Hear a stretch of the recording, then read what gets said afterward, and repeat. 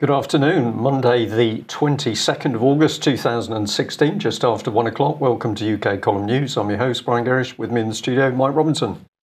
Uh, well, it's a bit grey and gloomy here in um, Plymouth, and uh, we've got reports from Scotland and Norfolk that it's a bit clammy and muggy. So that seems to be the weather. And I'll just add that we get mixed opinions on speaking about the weather. Quite a lot of our viewers like us to just give it a mention. Uh, after all, we're here in England and talking about the weather is a good thing to do. Um, some of you think we should just get on with the news. It's only a brief comment. Uh, well, what have we got? State state of the nation, I think today, Mike. Overall, overall, yes. But we're going to start off with the Catholic Herald here, uh, reporting that uh, Laurence Soper um, had been arrested. This couple of days old. Uh, he actually arrived back in the UK today and was arrested at Luton Airport. So this is uh, the former Roman Catholic priest who's accused of historic sex offences against boys mainly. I think it's all against boys. So uh, offences at St Benedict's School in Ealing, which is in West London. Uh, he taught there in the 70s and the 80s. four charges, including buggery, gross indecency, indecent assault against a victim from 1972-76 another boy 14 uh, and uh, various other charges and so on. But uh, he was arrested in Kosovo, where he seemed to have been hiding out for the last uh, while. But they've been looking for him for five years. Pretty impressive um, policing, Mike. They can't get to grips with what's going on around Westminster. And as uh, we'll just bring up on screen here, we're now into day 24 of utter silence, excuse me, from the policing minister, Mr. Lewis over the Met Police whistleblower. So we have a Met policeman who has uh, really taken the lid off the cover up of uh, child abuse in London. Utter silence from the policing minister, Mr. Lewis, and of course his uh, predecessor here, Mike Penning. Um, similar 24 days of utter silence, but apparently we can travel um, halfway around the world to arrest um, Catholic priests in Kosovo, Mike. Well, uh, as we should, but of course we should be uh, arresting these other people as well. Well, too difficult because they're too close, too apparently. Close, yes. Too close. Um, just before we move on, I'll just mention that we snipped out the uh, section from Friday's program uh, of Alex discussing the Docherty um, case, uh, and um, that's now up on the front page of the UK Column News, uh, sorry, UK Column website as a separate article. if you could distribute that, uh, it would be fantastic because we've put the uh, 10 questions which uh, Alex mentioned uh, underneath the video clip. So we can just say 10 questions which really uh, Police Scotland should be digging into to get the answers. But of course, Police Scotland have been working to help gently cover up what's taken place with the Docherty family. Okay, well, a little bit of overseas news. We're just going to stick on the subject of Hillary Clinton because some really interesting stuff beginning to appear in the media. Um, so we've got um, Rudy Giuliani. Giuliani, thank you. It's the J. I was going to put a harder G in there. Giuliani. Um, he's uh, quoted as saying that Hillary controls the entire media empire. And um, this has uh, been aiding her throughout her campaign. So we think of the of all the information which is coming out about this lady to do with her emails, to do with arms, to do with um, a multitude of bodies around uh, Hillary and Bill Clinton. Uh, and now we've got uh, this this gentleman pointing out that actually she controls the media I don't think so. I think powerful figures control the media, but they're putting her centre stage. Do you think, Mike? Well, in fairness, Giuliani is a Republican, so we should perhaps view this in that context. Well, this is true, but um, let's have a look at uh, uh, what's been said. Of course, um, he's pointing out that um, Hillary Clinton is appearing unwell, and uh, what he said is all you've got to do is go online, go online and put down Hillary Clinton illness and take a look at the videos for yourself. Now, I would certainly agree with that because these are not amateur videos, these are uh, mainstream media uh, reporting on a number of different occasions, many different occasions, where Hillary Clinton is either unable to speak because she's coughing, or it looks like she's going to faint, or she's helped up steps. uh, or she's got um, some very uh, severe um, facial tics. Facial tics. Thank you, Mike. I couldn't think of how to how to describe that. So uh, what he says here is absolutely right. Uh, well, if we go on to this one now, we've got um, uh, we've got a journalist on Yahoo who is beginning to um, uh, poke with a stick, saying, "Well, what's the proof of this online videos?" So there's a mocking from this journalist that basically uh, because he said that uh, uh, he's looking at online vi- uh, videos, uh, we've got uh, joined the chorus of Donald Trump supporters peddling conspiracy theories about Hillary Clinton's health. So um, I don't quite know where they're going with this, Mike. It's like they don't know what to say because the evidence is mainstream. It's not anybody else and uh, there's no conspiracy theory in those videos. So I, I, think they're getting lost for for words. So this is the journalist. Uh, we thought we'd just bring him on screen.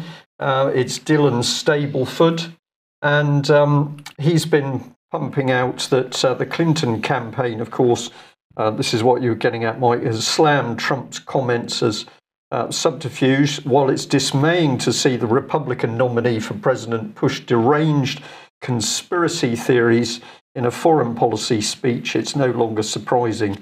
Uh, Jennifer Palmieri, the Clinton campaign's communication director, director, said in a statement Donald Trump is simply parroting lies. So I'm not sure when a video became a lie. Um, but if you want to have a look at this excellent reporter, this is his track record. Um, can't see anything of substance in there, really. I, th- I think uh, no, no clothes. I've put in there, Mike. The uh, emperor has no clothes. Absolutely, uh, but I think we're just seeing more, more uh, typical uh, American politics at work here. Are we going to get to the truth? Not likely before the election. Perhaps not likely after. Well, unless she drops down unconscious yeah. before the election, yeah. we'll see what happens. Well, of course, the Americans are not going to be too happy that um, the Conservative government at the moment destined to destroy the Royal Navy. We reported last week on uh, new sleeping arrangements that's going to put uh, young female Royal Marine recruits in the same dormitories as their male colleagues. That's to help cohesion and bonding, apparently, Mike. Yeah. Of course, they could be breeding their own future Royal Marines, which will help the whole policy. Uh, but the key point here is that we've got another ship uh, to be sold immediately.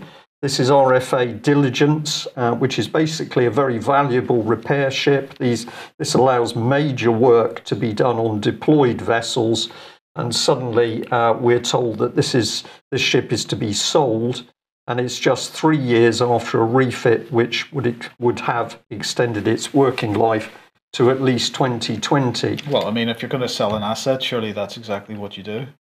Uh, okay. Well, I'm just going to point out, of course, that the Tory government is, uh, is continuing to destroy the Royal Navy. Uh, the Ministry of Defence is utterly lying over the importance of getting rid of this ship. Uh, but of course, we got the bizarre situation where the Tory government is making these cuts as it warns of an impending war with Russia. So we come to this interesting question Is the government bonkers? I use that word deliberately. We'll see why a little bit later. Or is it the case that uh, we've got a deliberate subversive government policy to draw to destroy Britain's military capability?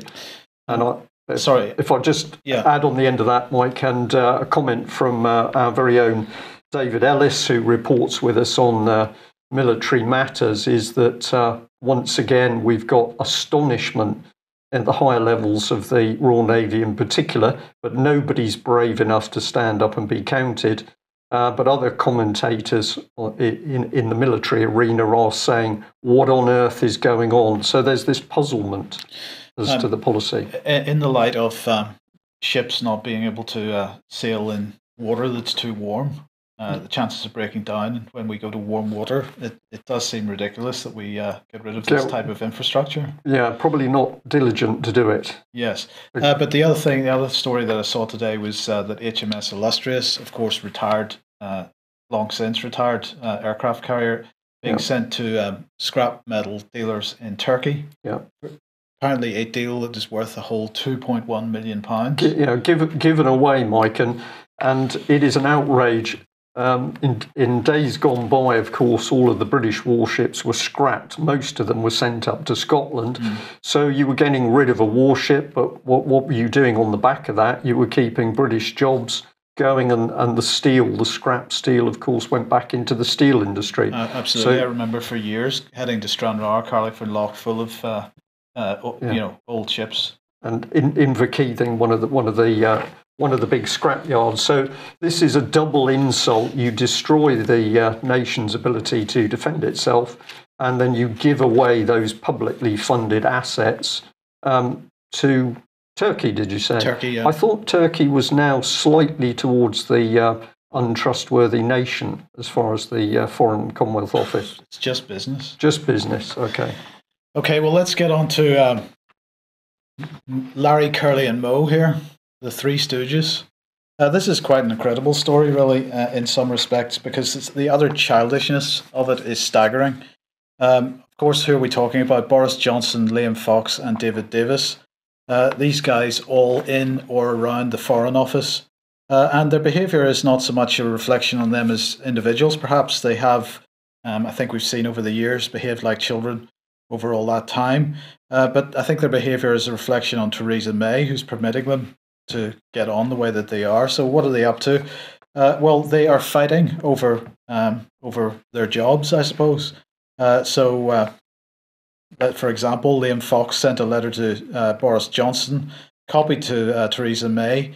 He said that he thought his responsibilities, or what he, he thought his responsibilities should be. He said uh, the role played by the by economic diplomacy is crucial to delivery of the objectives uh, I've uh, I've been set by the Prime Minister as International Trade Secretary. So basically, he's saying he's going to take over a large portion of uh, the office space of the Foreign Office. He's going to take some Foreign Office staff, uh, and uh, so basically, there's just a, a, bunch of pathetic infighting now. Of course, David Davis is the Minister for uh, getting us out of the European Union. Um, so while all this nonsense is going, none of these people are actually doing their jobs. Brian and David Davis, in particular, cannot be making any progress while he's busy fighting with these other two idiots. Well, is he trying to do that anyway, Mike? I'm not convinced. He's more likely to be setting up the um, transatlantic trade. No, that's Liam Fox's role. You oh, see, that's that's ah, the okay. point. That's the point. So we've got uh, Boris Johnson, Foreign Secretary, and and he would see that as being part of his remit to a certain degree. Liam Fox fighting over that because he's been given the job of TTIP uh, and so on and uh, David Davis fighting with them both. Yeah. Uh, because he's been given the job of getting us out of the European Union, all of which are sort of foreign policy objectives. Uh, and uh, they are all really sort of vying for uh, who's going to be the, the biggest idiot of the lot of them. Okay, I'm feeling confidence here um, in the country. Yes. Uh, well, I came across this while I was having a look at information for the news today, and I found it fascinating. Go and have a look. Mozo Travel and uh, they came up with a long list of countries which they said, you know, we'll show you the worst, um, the worst 13. Um, these are countries you don't want to go to Somalia, Guyana, Bangladesh. Uh, Russia is in there. You don't want to go to Russia because they're racist and homophobic. And you wouldn't want to go there anyway because Putin's running it, according to the report. Turkey, Syria, North Korea, Thailand, whatever. So I, I, thought it was very interesting to see how they measured this report. Um, this was um, Brazil. Of course, we're looking at abject poverty here. Uh, but what were the reasons? Poverty, shanty towns, squalor, overcrowding, um, global warming. Well, that was in there, but uh, pollution was probably one of the key things. Wars and terrorism, murder, gangs, crime, drugs, prostitution, kidnapping, sex trafficking, um, police corruption, uh, dictatorships, and uh, just because of Russia, their racism and homophobia. So I thought this was quite interesting to reflect on living as we do in Great Britain. So I thought we'd just pop um, Great Britain in. If you're thinking of visiting this country, I think you should probably think very long and hard. Uh, very clean on the surface, those suited men you showed, Mike underneath it's uh, a basket of filth, I think is the correct description. So we've got poverty, we've got squalor, we've got police corruption, we've covered that. Uh, we've got international corruption with the banking cartels, fraud, drug launder, uh, drug money, drugs, drug laundering cartels, all going on in the City of London. So that's covered. Uh, we are the source for the wars and international terrorism, so we can give ourselves a tick there. And then we've certainly got child stealing, trafficking, and murder. And we can give a tick there. So, um, based on this very short UK column news um, poll, um, you don't want to go on holiday to Great Britain at the moment. Indeed. And uh, if you're thinking that this is just black humour, of course it's not, because uh, this is absolutely the state of the country. We better add in the last one, of course, which is um, if we can pop that on screen, uh, we can give ourselves a big tick for the dictatorship, as I think you're going to be demonstrating in a moment, Yes. Mike. So, um, can we prove this? Well, the BBC's doing it for us because uh, here's just one topic. Uh, the BBC is doing a program which is going to see struggling workers.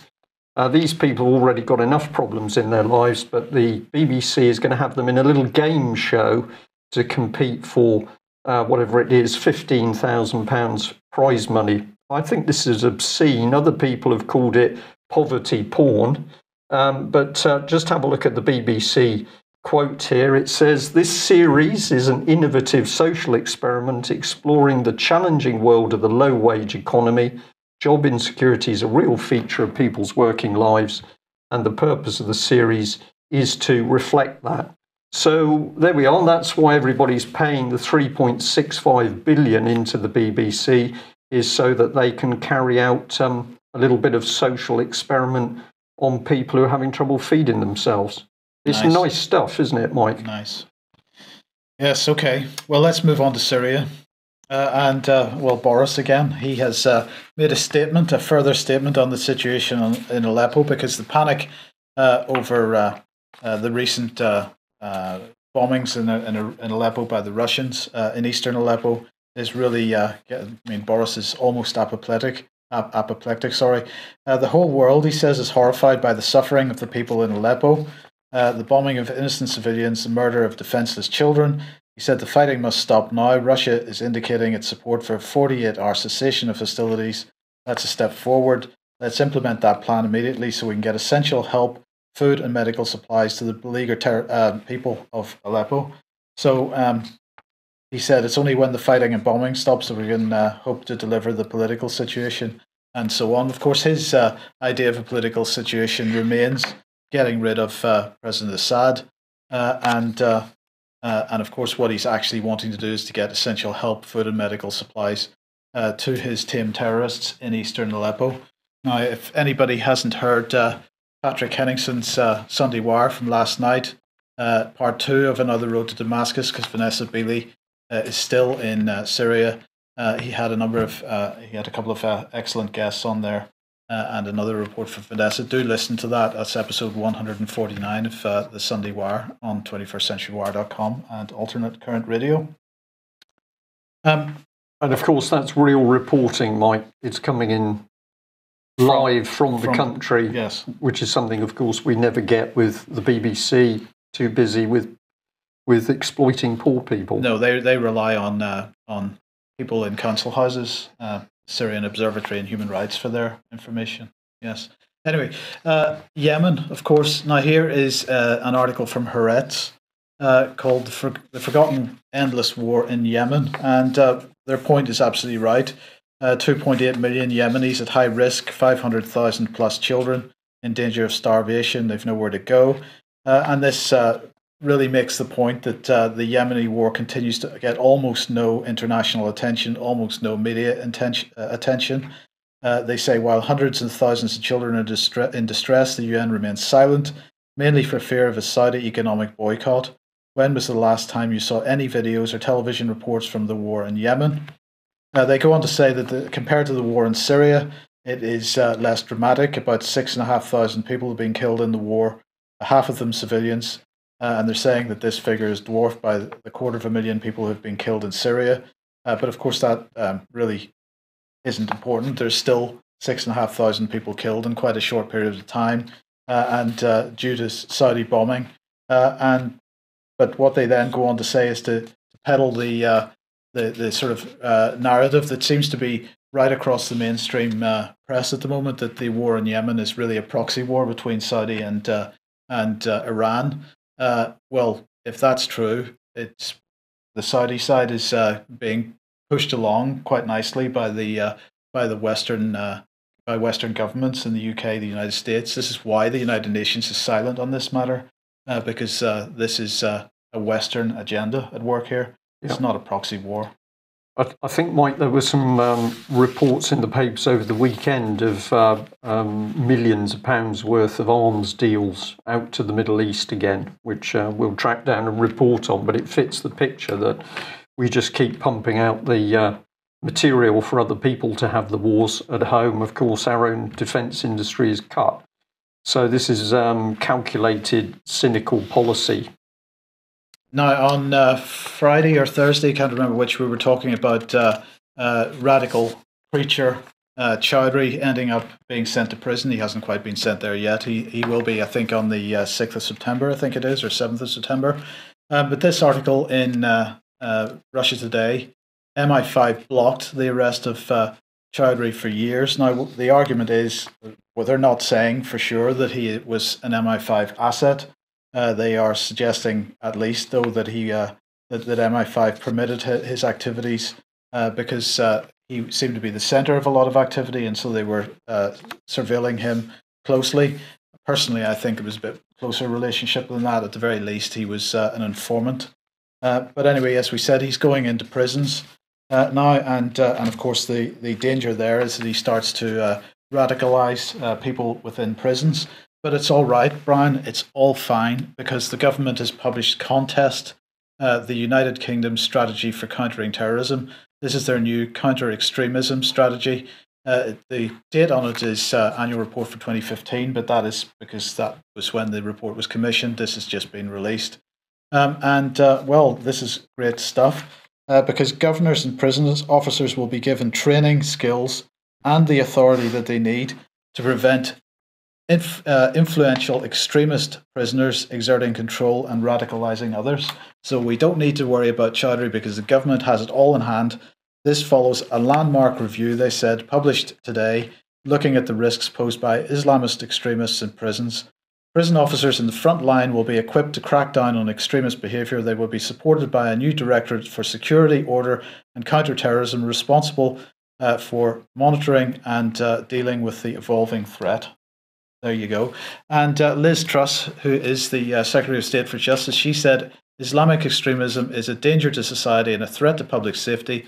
It must be defeated wherever it's found. I'm committed to confronting and co- uh, countering the spread of this poisonous ideology behind bars. Yeah, well, the, these people are utterly brilliant, Mike, because you know um, they when they want to, they can do everything apparently, but uh, when they don't want to, they're incapable of anything. Well, I'm just assuming that everything that they say is 180 degrees out from reality. So, in fact, what they've done here is produced a, a nice little uh, uh, manual for anybody wanting to to um, go out, go into prison and uh, yeah. incite extremism. But they can't control the drugs in prison. They can't. They can't uh, control the violence in a lot of uh, circumstances. Um, but we're to believe that now they've got the wherewithal to get in and stop the Muslim extremism, such as they say exists and part of the re, part of the way they can do that is by having prisons to put all these guys together so they can talk to each other. Yes. Yeah, great. Okay, well, um, if we're talking about countering extremism, then what we're going to expect to see, of course, is more armed police on the streets. So, thank you to our viewer who flagged up this little one. It's our local paper again, the Plymouth Herald. And here's the title Traffic Police Look into the Eyes of the Dead says officers in harrowing account of fatal RTA. I've just seen a child the same age as my son die in front of me. I've seen his family fall apart. And that's just the start of um, a whole blog talking about uh, death. Uh, looking into the eyes of the dead is the headline here. Um, but it seems interesting that what we've actually got are armed response officers revealing the effect of post traumatic stress.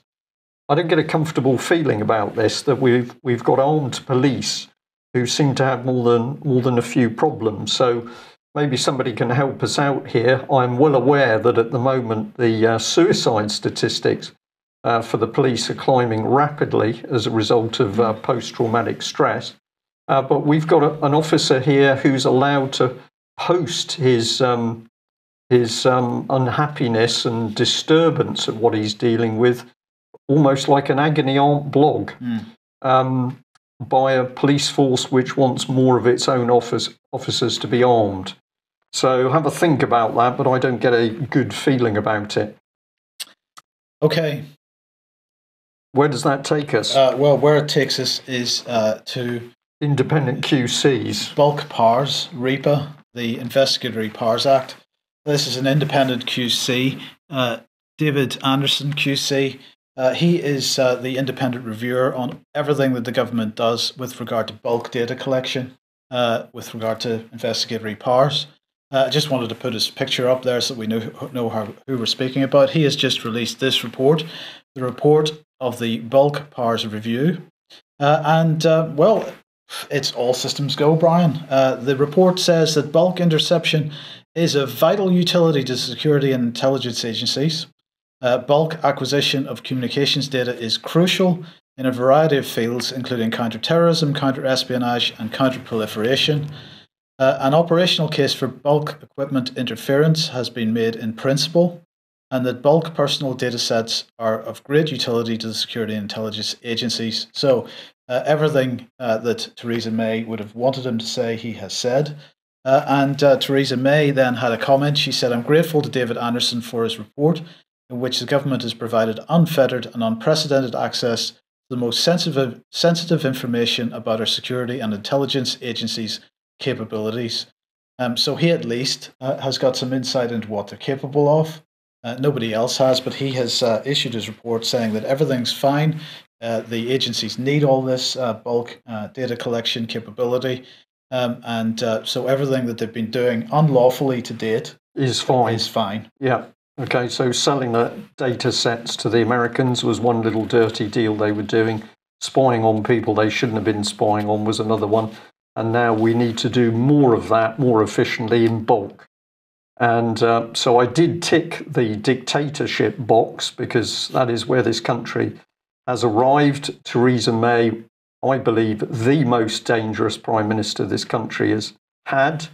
And of course, what's the reason for that? Well, she's backed up by this massive state spying apparatus, which, of course, they're demonstrating with the uh, prisons objective is that they're going to get that into the prisons as well. So um, you're to, you're not even going to be safe when you're protected by the state. Absolutely. Um, right. Constitutional reform, big issue for us over the last few years. Um, and uh, the Bill of Rights. Well, of course, we don't have a Bill of Rights, we're told, except that is a picture of the Bill of Rights that you're seeing there. Actually, it's a Declaration of Right, which is the uh, common law treaty, which uh, came just before the Bill of Rights, but it's basically the same document. Uh, and, uh, well, we don't have one, apparently, even though it's there in front of you, so we need one. Uh, and the new British Bill of Rights is going to be introduced. This is according to Justice Secretary Liz Truss. and, of course, what are they going to do? They're going to get rid of the Human Rights Act uh, start again with a new blank piece of paper uh, and write some words down on it, which is mag- magically going to give us all some rights. That's going to be our new Bill of Rights because we don't have a written constitution in this country, as you know, Brian. At least that's the lie that's peddled. Uh, what did she say? Uh, Liz Truss said, "We're committed to a new Bill of Rights. It's a man- it's it is a manifesto pledge. We're looking very closely at the details, uh, but we have a manifesto pledge to cover that." So she had to say that twice, apparently. Um, so they are committed to that, or they should be, uh, and uh, and away we go. Because this reform. this is stripping away rights as fast as possible. Well, this is absolutely you know. right, and this is really my point over this whole issue of human rights and whether human rights are a good thing or a bad thing. Uh, many people believe that human rights are a good thing because it writes down on a piece of paper what our rights are. But my point is, it starts off from a blank piece of paper. Uh, the British constitutional position is that we have unlimited rights. Uh, those that those come from uh, those are God-given rights. They cannot be taken away uh, by uh, human beings. Uh, but if you start with a new document, you start with a blank piece of paper, which means that it comes from the assumption that we have no rights to start with, except the ones that are written yeah. down, and that's a dangerous position in my position, in my in my point of view.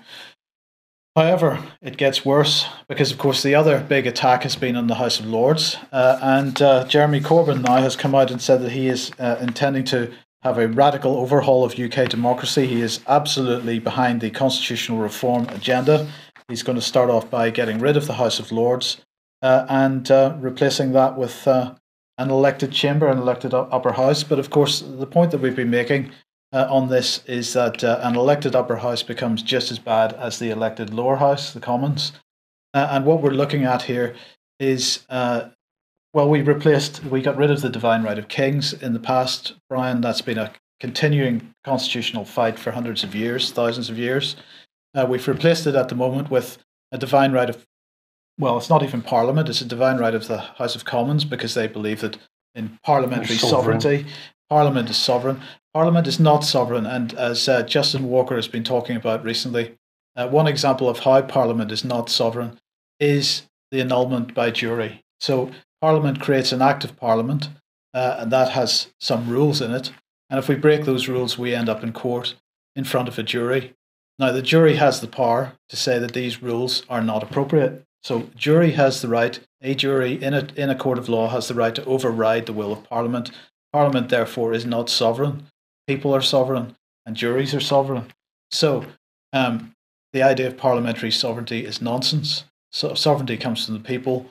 The House of Lords, if we get back to that subject for a second, uh, I've made this point a number of times, has blocked the most draconian efforts of the House of Commons. What is it, 60 times in the last in this last parliamentary uh, session? Uh, and if we go back a couple of years, two, three hundred times where they've blocked uh, House of Commons uh, attempts to take pretty draconian uh, powers. So the House of Lords at the moment has an independent component. Yes, there are lords in there that that have uh, affiliation to a party or other, but there are also a lot of independents as well. And and actually, even the party uh, lords seem to be doing mostly the right thing. Um, so this is dangerous, in my opinion. Now, what did Corbyn have to say? He said uh, he's making a commitment uh, that a Labour government will put the people back in power. That is nothing of the kind. Uh, what he's actually doing is uh, putting the wrong people into into power. Um, and uh, if we look at the House of Commons at the moment and how it is pretty much dysfunctional, with Tory cabinet ministers fighting amongst each other uh, over what, and this is not going to be any different if we were to have an elected upper chamber. The bottom line is that Jeremy Corbyn needs to have a look at the British Constitution, what it represents, um, and uh, give it a bit of support for once. Uh, well, we're going to be interested to see what happens if there's any form of dialogue um, between uh, Mr. Corbyn and his team and the British Constitution Group, because this is something that was promised uh, by the Labour Party some months ago. And um, it's going to be fascinating to see whether they honour that promise. And of course, uh, a number of their members signed the early day motion for the restoration of the Bradbury Pound. Um, so we're about to see whether there's any truth at all at the top of the uh, Labour Party. Yes. Uh, well, if the Labour Party itself is uh, suffering, SNP is uh, suffering as well. So let's just jump north of the border. Um, this is the um, Express. Apologies, I should have that uh, labelled there, but it's come from the Express. It's a video clip which shows Nicola Sturgeon being confronted by cons- uh, constituents on the streets of Govanhill, her own constituency. And uh, there's pretty hard hitting information coming out. Now, a lot of this is around the fact that uh, they're having a lot of problems around the Romanian um, immigrant community. Three and a half thousand, as it says here, packed into a few streets of ramshackle tenement blocks in Govanhill. Uh, but if you look at the article in the paper, you will see pictures of of the streets covered in rubbish and all sorts of problems going on there. Uh, but the local constituents uh, point out that uh, Miss Sturgeon's constituency um, is uh, so dangerous now that uh, she gets an escort when she goes there for the police. And, and the police have given it its own designator, Golf Echo 68, uh, the most violent area of Glasgow. Um, so, this is what one of the constituents uh, said she, she uh, Nicola Sturgeon, lives eight miles away in a plush neighbourhood where the issue of the slum doesn't affect her. So this is really um, classic. This is where it goes. This is where it will go in England, Mike, I suggest uh, if we let these uh, politicians carry on, uh, what comes in is a dictatorship, a fiefdom, and they simply do as they like because they're not going to be affected by the damage that the policies do. Mm. So um, that's a pretty interesting one. But uh, we got another indicator here of how bad things can be because this is an interesting headline from the Express. It says Gravesham Borough Council caught lying down. That'll be a £75 on the spot fine. Uh, there's the word dictatorial council. And uh, this is uh, part of the key reply from the council ex- itself. We expect enforcement officers to use common sense. Well, we're going to say that's a false message. What's really going on? Don't worry, there's a law and there's power with it, but trust us, we won't use it. That's the false message. Uh, but the dangerous message in the headline is bonkers. A bonkers council has announced this. Mm. So here is the paper trying to make out that this is some uh, some silliness that really we shouldn't worry our heads with. They're all a little bit bonkers, but no problem. Well, the UK column, of course, was alone when we pointed out where councils were going, and we used the example of this man. He's John Tradewell, the Director of Democracy, Law and Transformation. That's quite a title for a solicitor, and this is uh, Staffordshire Council. And uh, we just remind you what this man said um, uh, in a uh, text uh, that uh, was part of the Civil Service magazine.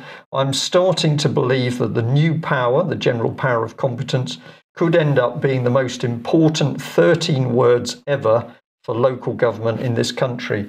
This isn't because they actually give us any great new powers, but I'm not sure they add a great deal to the well-being powers in the 2000 Act, nor is it because they will change the default setting from can we do this to we can do this.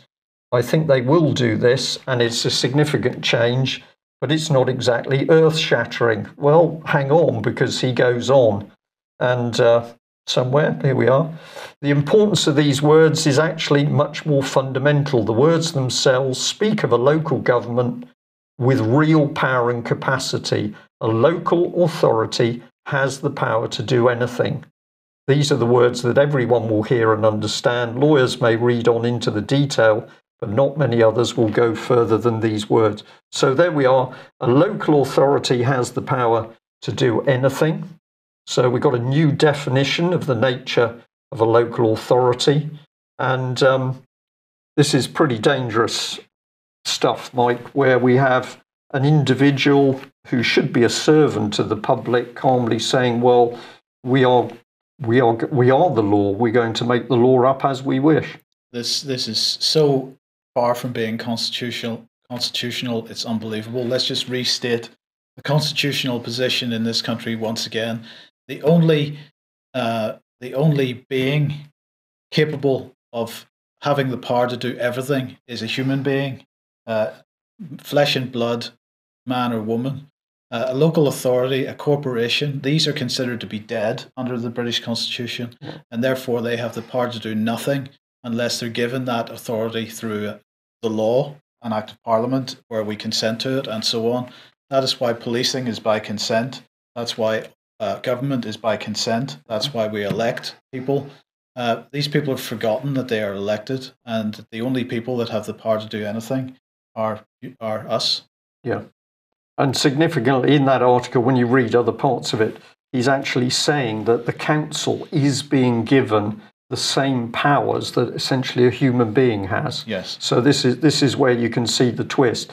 So the seventy-five pound fine is not bonkers. It's not silly. This is very very dangerous constitutional change, which is being drifted in under our noses. Mm. Uh, well, we can go in a different direction, and thank you very much to uh, one of our viewers for pointing this one out. Um, this document, which has been found through the National Archives, and basically it's a memorandum of understanding between the Health and Safety Executive, the NHS, and the police in the uh, in safety in incidents, unexpected death or serious harm within the NHS. Now, it was interesting. We noticed that the health and safety executive signature is missing from this document. I don't quite know how that works, but there's wet signatures, unusual for that. Um, but uh, the health and safety one was missing. Well, why are we interested in this? Well, it says that investigating patient safety incidents, unexpected death, or serious untoward harm is a protocol for liaison and effective communications between the National Health Service, Association of Chief Police Officers, and Health and Safety Executive. So we've got a nice little private agreement here, Mike, and um, these agencies have decided what to do if somebody's dying. Um, independence, not too sure. But uh, this is the meat of uh, part of it. So, paragraph 14. Uh, similarly, serious injuries to healthcare workers to which this protocol does not apply, and some accidents to patients are required to be reported to the HSE by NHS Trust under the Reporting of Injuries, Diseases and Dangerous Occurrences Regulations 1995, RIDDOR. And here we have it. Accidents to patients that arise from medical treatment or diagnosis are exempt from this requirement. So we've got a nice private little arrangement at the moment that means that if somebody dies as a result of um, anything, neglect, um, malicious activity by the medical staff, um, that actually doesn't get covered at all. And uh, the other thing we know, of course, is that there is no forensic toxicology. Uh, so when people are dying, there are no tests to see whether they died as a result of the very medication that was supposedly given to uh, uh, to make them better. And particularly when we're seeing deaths of children, because there is no forensic toxicology, nobody has any idea whether the children were given drugs which were not uh, approved for use on children. So what we're really getting here, uh, getting at here, is that uh, the NHS uh, is clearly now a very good place where people can be quietly disposed of. Liverpool Care Pathway um, if it gets a little bit too close to the surface, there's a nice little protocol agreement uh, with the chief police officers in place. Excuse me, but but if people die as a result of the medical diagnosis and medication, well, that doesn't really matter at all. No. So, excuse me, um, there we have it. Some dangerous things unfolding um, in uh, British society at the moment. The evidence is all there in the public domain when you start to put the pieces together, and it's up to us, the wider public, to stand up and alert those who can't see what's happening to what is really going on. This is speeding up, it's getting immensely dangerous. And if we have the likes of Boris Johnson thinking that he's part of a sovereign decision making body, um, Theresa May, who's built the biggest state spying system uh, seen in the West, um, we're heading into pretty stormy waters, really. Mm. Okay, that ends uh, today's news. We'll be back at the same time tomorrow. Join us then. Thank you. Bye bye.